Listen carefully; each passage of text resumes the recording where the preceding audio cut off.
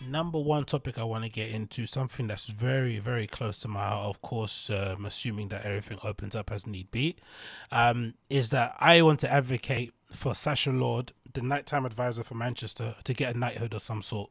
When everything is settled and all the dust, uh, you know, when the dust is settled and, uh, you know, and the empty pints of beer glasses have been placed on the table and slotted into the washing machine and people are trotting back home getting their kebab when everything is sorted and everyone's had a really good time and they've kind of got all the going out system they've got they've got the kind of going out uh, thing out of their system and people have sobered up and they want to kind of look at who kind of you know had a positive impact during this whole covid lockdown supporting small businesses supporting you know industries especially or supporting businesses especially in the hospitality sector.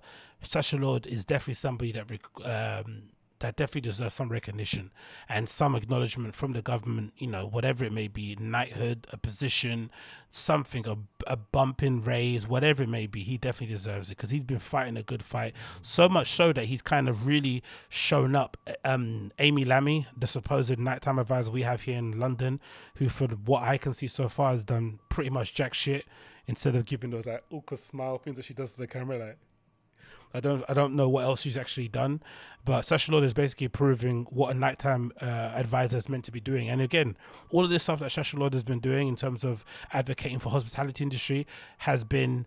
Uh, mostly focused on the entire hospitality industry across the, the, whole UK, not just specifically for Greater Manchester, where he resides and where he's from. No, he's looking after everybody, and this really selfless and amazing work has not gotten a notice from me. So this is a quote from him. Um, just the other day, it says on the back of yesterday's news, in getting a substantial meal in a High Court ruling, we are back again. Hospitality should open at the same time as non-essential retail on the 12th of April. We are more regulated, licensed, and put more measures, uh, safety measures, I guess, in place. And this is obviously uh, relating to the government mandate that has um, laid out in the roadmap, where essentially non-essential retail, you know, re- um, clothing stores and whatnot, will open before pubs and bars are allowed to have people sitting indoors and drinking and eating, which is obviously batshit crazy. It makes no complete sense.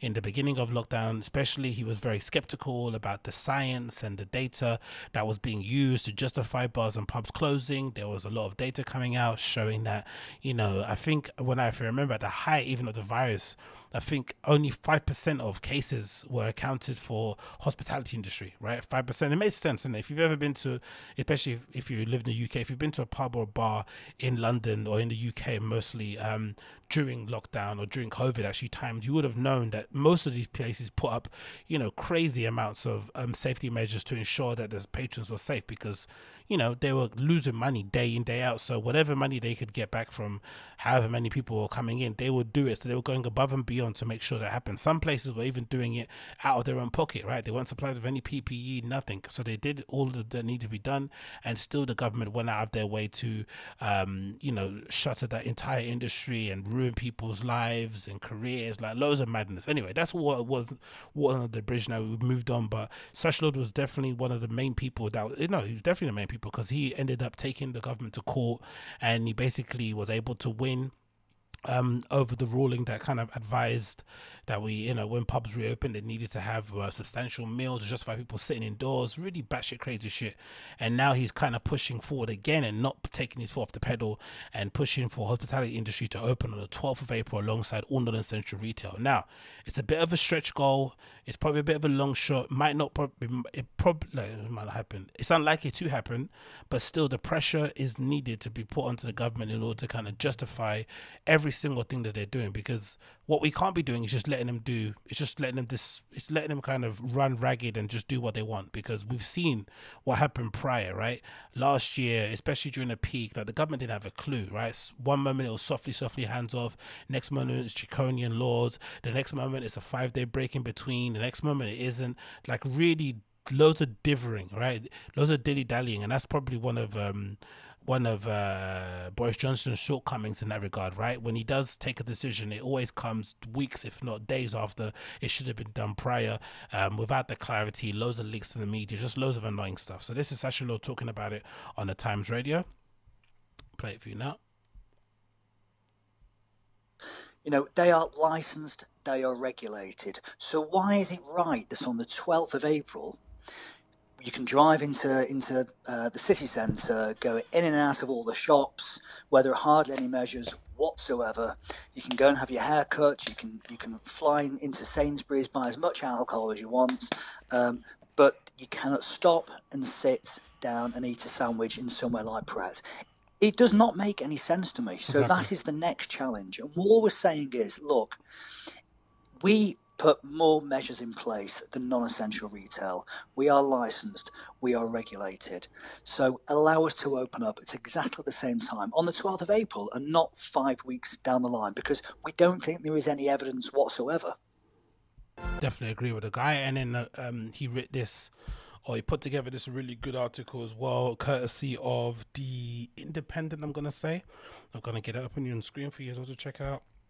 So this is called um, the I took the government to court over its COVID restrictions on pubs. This is why, from Sacha Lord, it says today we announce a landmark victory in um, the a landmark victory for the hospitality industry, and one I'm personally very proud of as we wound up our court case following the judgment um, that the substantial meal restriction imposed on wet-led pubs was arguably discriminatory towards certain sectors of society. As such, this ruling made February 5th forced the government to U-turn on restrictions in their roadmap announcement last week. When we kicked off our legal case um, last year, we wanted to shine a light on the unfairness of the restrictions on the sector and discuss the legality around forcing wet-led pubs to remain shut while those which um, serve food can reopen.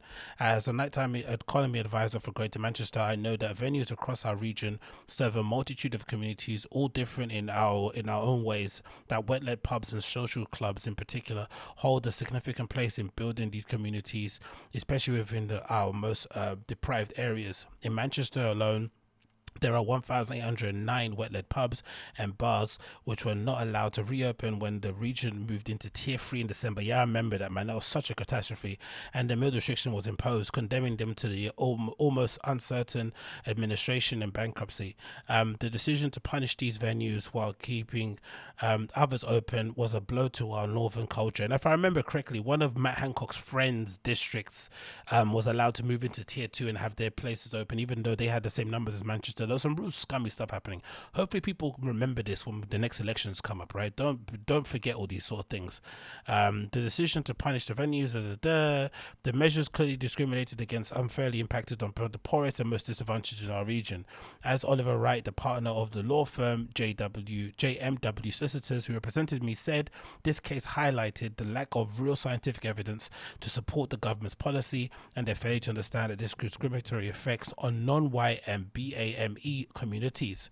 Um, and although uh, many of these venues have suffered and unfortunately many have succumbed to the financial pressures of COVID, I am personally pleased with the judgments made in our case. We have given hope to those clinging on, not just from the businesses but the customers most affected, as we head towards the end of the crisis. While the safety of our residents across the region is our utmost priority, it is my role to ensure that there is ongoing support for all those who are suffering, whether it be financially or in a societal point of view. As such, our job is not done and we'll continue to work with those most affected across the nighttime economy hospitality uh, sector to ensure all measures imposed on the industry going forward are fair to everyone absolutely amazing. We have seen um, now that the measures which are not based on scientific data can be questioned, and my legal team and I are already in discussions regarding the lack of evidence justify the delay of reopening the indoor hospitality compared to non-essential retail.